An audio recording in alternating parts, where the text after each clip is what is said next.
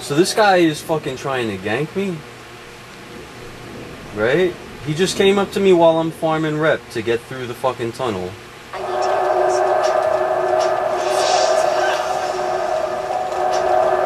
Still in charge. There you go. Later, noob.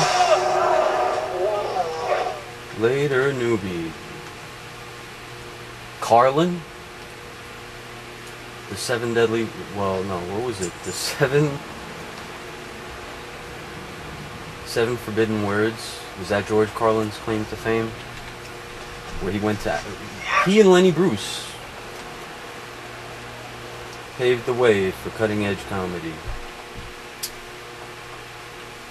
But there's nothing cutting edge about that bad mage. Carlin, change your name.